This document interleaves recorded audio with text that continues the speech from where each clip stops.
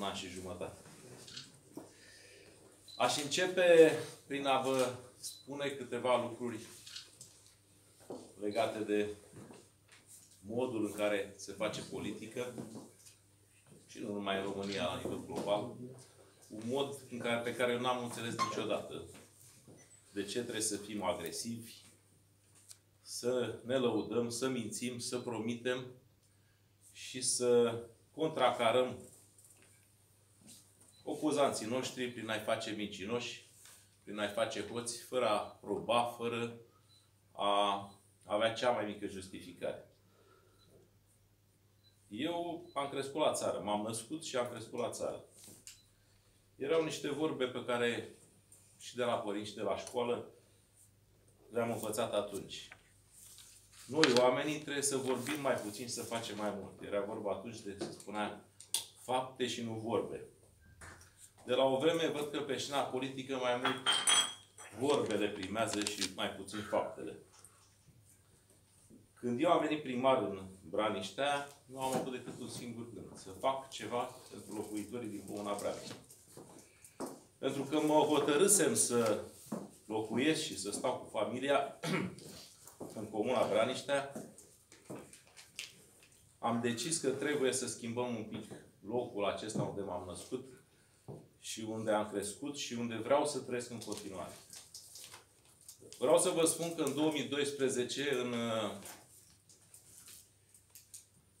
programa mea de campanie, să spun așa, în, în ce mi-am pus eu atunci în broșura mea de campanie, am promis mult mai puțin decât am făcut. Nu mă așteptam să prindem niște finanțări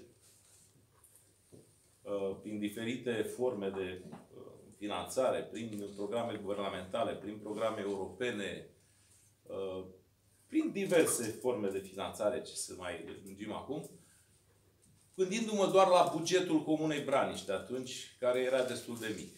E un buget de maxim un milion de lei pe an. Din taxe și impozite vorbesc. Nici măcar atât, cred că vreo 700 de mii.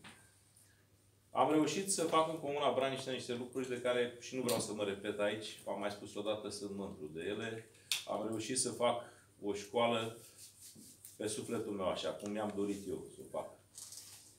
Vreau să vă spun că sunt sunat de oameni care au trăit în Braniștea, care au învățat în Braniștea, care nu mai locuiesc în Braniștea, dar mai vin la părinți, mai vin la casa părintească și uh, mă felicită. Mă felicită oameni din Titu când merg la magazine, la bănci, în diferite locuri. Sunt, scuzați un pic, emoțiile sunt un pic emoționat. Da, de regulă nu sunt, dar acum sunt. Uh, mă întreabă cei care se pricep, pe lângă faptul, pe lângă felicitări, la fel cum arată, și cât a costat. Cei care au construit o casă, oameni de meserie, și le spun cât a costat. Sub 400 de euro metru pătrat. Și centru cultural, și școala. Ori aici este surpriza cea mai mare. Faptul că se poate construi și la un preț accesibil. Nu spun că acești constructori care au făcut aceste uh, obiective au câștigat foarte mult din, din uh, aceste lucrări ale lor. Dar probabil că au fost niște oameni care au studiat bine caietul de sarcini, au studiat bine proiectul și și-au pus în cap și în gând să-și facă o lucrare de portofoliu. Așa cum au mărturisit de altfel acești constructori și de care sunt mândri și ei. Aș, aș spune acum câteva cuvinte despre mine, cu riscul de a lungi un pic discuția asta. Dar o să fiu scurt, ca să înțelegeți cam de unde am plecat eu.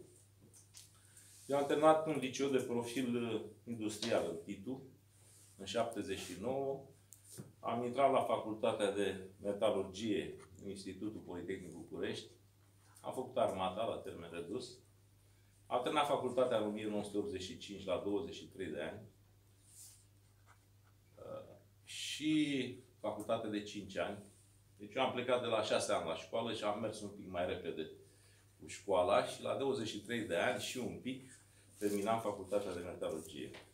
Am plecat la Metalurgica de acolo am luat repartiția, o întreprindere cu peste 9.000 de muncitori, o întreprindere care era un fel de mecanic șef al industriei metalurgice din țara noastră.